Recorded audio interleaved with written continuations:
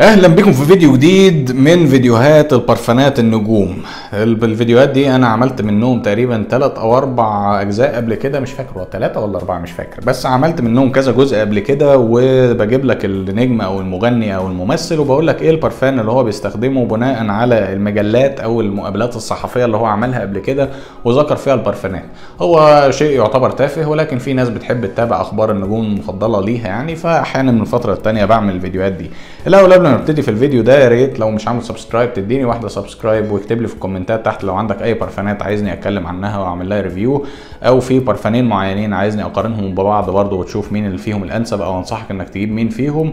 ودلوقتي برضه الخنفاري بقى على الإنستجرام ممكن أسيب لك link في أول comment تحت تعمل لي follow لو عايز ونبتدي الفيديو. أول واحد معانا أول نجم معانا هو مغني كريس مارتن كريس مارتن طبعا يعني معروف من Coldplay ال band الشهير يمكن الأشهر في العالم. أغانيهم كتير جدا بقالهم سنين وسنين بيغنوا ابتدوا من تحت الصفر تقريبا وهم عيال صغيرين وكبروا مع بعض وبصراحة يعني صوت الراجل ده جميل جدا وأغانيهم ليها مغزى وناس حبوبين يعني لو حد راح لهم حفلة ولا حاجة بتلاقي الناس دي متواضعة وكريس مارتن بالذات يعني من المغنيين الممتازين اللي أنا بحبهم وبحب صوتهم. ولما بتشوفه في أي interview ولا حاجة بتحس إن الراجل بيتكلم بذوق ومحترم ودايما بيحترم اللي قدامه وعمره يعني ما ما أثار جدل ولا حاجة وبتحس إن هو دايما إيه يعني بي بيأدي حتى الغنى بتاعه بي بيقدم لك وجهة نظر معينة أو بيدي أغاني ليها مغزى في بعض الأحيان. فبشكل عام هو صوته جميل من أشهر أغانيه طبعا Sky Full of Stars لما قدم Ghost Story في 2014 وحقق نجاح جامد جامد قوي ومؤخرا قدم تقريبا ألبوم صوره في الأردن أو في في الأردن أعتقد آه. فكان حتى الفيديو كليب بتاعه في الأردن هو ممثل يعني مغني كويس قوي وصوته حلو. خلينا في البرفان اللي هو بيستخدمه البرفان اللي هو بيستخدمه بيستخدم Allure Homme Sport Eau Extreme. ده ال signature scent بتاعه أو ده اللي هو بيحب يستخدمه. ليه؟ أنا معرفش ولكن هو بيحب البرفان ده. كان قاله قبل كده في interview مع Graham Norton Show آه قال إن هو بيحب البرفان ده لأن هو بيحب الروائح المنعشة. وبما إن هو بيتنطط كتير على ال stage وعنده حفلات كتير وبيلفلف كتير فهو بيحب إن هو يحط برفان منعش ويديله دفع التفاؤل يعني. فدايما أنا كنت بقول البرفان ده بيديلك بالفعل دفع التفاؤل وبيديلك بيخلي mood ك أحسن لأن البرفان ده فيه ريحة نعناع والنعناع من الروائح الطبيعية اللي بتخليك في mood أفضل وبتحسسك بالانتعاش والحيوية. البرفان ده يمكن المأخذ اللي عليه إن هو سعره غالي شوية وأداؤه ما هوش الأقوى ولكن بشكل عام الأداء مش هقول إن هو رايح في داهية الأداء كويس مقبول عند معظم الناس بيقعدك مثلا 8 ساعات ولا حاجة من الثبات. ممكن أقول من 6 لسبع ساعات برضو عشان ما بقاش ببالغ. فالبرفان ثباته كويس وفوحانه برضو في أول ساعتين بيبقى حلو. البرفان غالي شوية انت بتلاقي نفسك دافع فوق ال 90 دولار ال 100 مللي ولكنه يستاهل كل مليم فيه لأن جودة البرفان ده جودة عالية قوي وبتحس فعلا إن أنت جايب حاجة قيمة وذات معنى.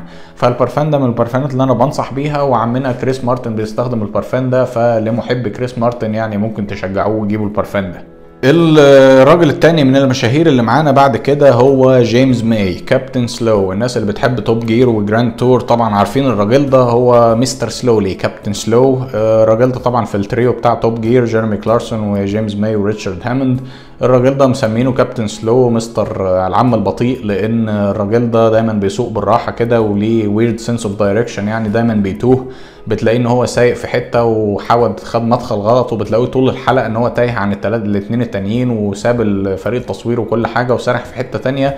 يعني الراجل بصراحة راجل حبوب برضه وليه كده شوية documentaries تانية. راح اليابان James May in Japan تقريبا وعمل شوية documentaries تانية عن إزاي الحاجات بتشتغل وكده.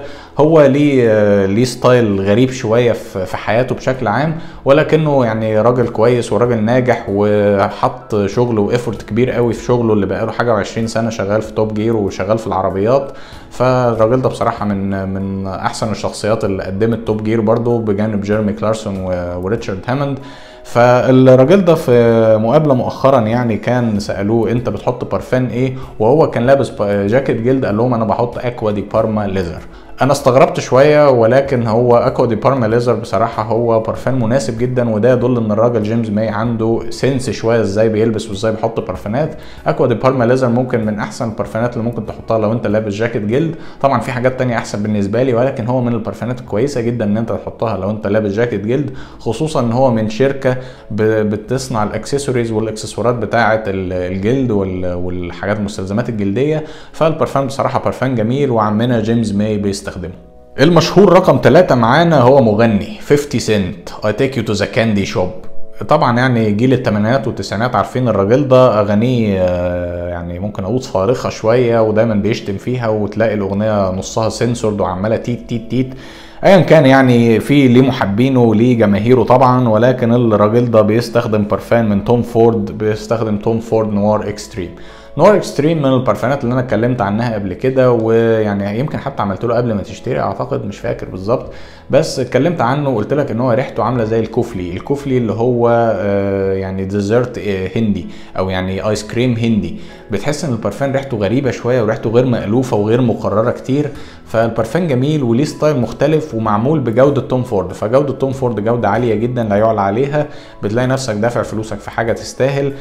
هل انت هتحب البرفان ده ولا لا؟ أنا ما أقدرش أقول. أنا شخصيا أحيانا بحبه أحيانا ما بحسش إن هو ال mood مش جايبني إن أنا أحط البرفان ده.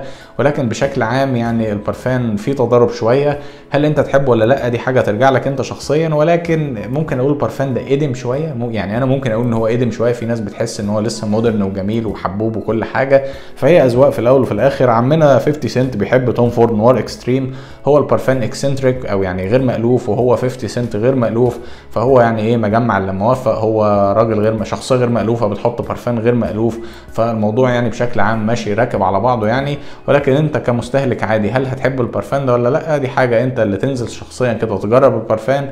وخصوصا إن أنت هتبقى دافع فيه مبلغ وقدره لأن هو من Tom Ford. ف Tom Ford بيبالغوا شوية في أسعار البرفانات اللي بيقدموها. وده مش أي. مش أي اختلاف. هتلاقي ال 100 مللي منه تقريبا ب 200 وشوية دولار فسعره مش رخيص. الشخصية المشهورة اللي بعد كده معانا هو مصارع جون سينا. جون سينا طبعا مصارع معروف جدا الناس كلها عارفاه ويعني ليه صولات وجولات في ال WWE.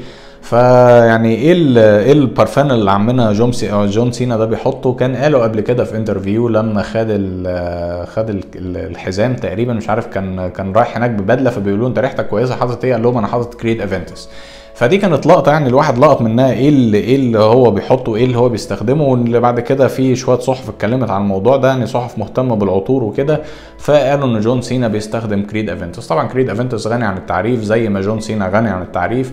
البرفان غالي البرفان تقريبا ال 100 مللي منه ب 400 دولار. ريحته جميلة جدا من ساعة ما نزل البرفان ده وهو عامل ضجة جامدة قوي وقدم style جديد تماما من البرفانات وبصراحة أنا ب يعني بحترم البرفان ده جدا ولكن للاسف للأسف الباتشات الجديدة منه ما بقتش كويسة زي الباتشات القديمة خصوصا في حتة الأداء.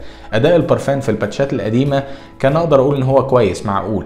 ولكن في الباتشات الجديدة الأداء راح في داهية خالص ما بقاش في أداء اطلاقا وبقى لسه السعر غالي زي ما هو. فهل أنت تتشجع إنك تجيب البرفان ده ولا لأ؟ دي حاجة ترجع لك وترجع لقدرتك المادية. ولكن بشكل عام أنا نصيحتي ليك جرب البرفان ده ولو تقدر تجيب باتش من الباتشات القديمة هاتها لأن أنت كده هتجيب لنفسك ذهب. يعني أنت كده هيبقى معاك يعني asset ممكن تستثمره في حياتك. إنما لو هتجيب batch من الباتشات الجديدة صدقني يعني يمكن رايي شخصي إن إن ملوش لازمة. يعني خلاص ممكن تجيب حاجة بديلة ليه وخلاص لكن لو باتشات قديمة قبل 2016 بالذات هتجيب لنفسك حاجة قيمة جدا وهتستاهل فعلا الفلوس اللي هتدفعها فيها. نيجي لآخر ممثل معانا في الفيديو ده هو بن افليك بن افليك طبعا ده من الناس اللي لعبت أو يعني مشهور جدا اللي لعبوا دور باتمان في فيلم Dark Knight تقريبا والله مش فاكر والله بس هو لعب باتمان. فالممثل يعني اتشهر قوي والناس عرفته قوي بسبب الدور ده. طبعا ليه أفلام تانية كتير وممثل ناجح وكل حاجة وبرده ليه مواقف مواقف كويسة قوي في السينما وفي وفي ال talk shows وكده. يعني الراجل بتحس إن هو حقاني في حاجات كتير وبيتكلم عن قضايا كتير حتى حساسة ناس كتير ما بتتكلمش عنها. فالراجل ده لما سألوه أنت بتستخدم إيه قال لهم أنا دايما بحب أستخدم Tom Ford Tobacco Vanille لأن هو من محبي روائح التدخين ومن محبي روائح ال tobacco.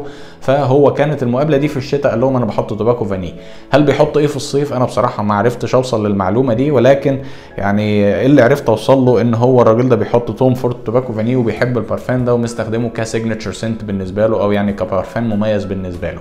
البرفان ده برضو من البرفانات اللي أنا بنصح الناس إن هي تجيبها ولو ما عندكش القدرة المادية إنك تجيبه وعايز تعرف ال style بنصح إن الناس إن هي تجيب Zara Warm Black هيدي لك نفس الأداء ونفس يعني مش نفس الأداء أو هيدي لك نفس ال style ولكن طبعا بجودة مختلفة تماما لأن جودة Tom Ford لا يعلى عليها في حين إن Zara مثلا جودتها يعني على قد حالها. فده كان يعني ده إيه ده ال- الخلاصة بتاعت آه، Tom Ford Tobacco Vanille. البرفان جميل وكل حاجة ولكن جربه الأول لأن برضو ممكن ريحته تكون مزعجة لبعض الناس. ده كان الفيديو بتاع المشاهير اللي معانا النهارده. يا ريت تكتبوا لي تحت في الكومنتات إيه رأيكم في الفيديوهات دي وهل أستمر إن أنا أعمل فيديوهات المشاهير دي ولا لأ؟ وقولوا لي إيه رأيكم فيها ونتناقش في الموضوع ده في الكومنتات.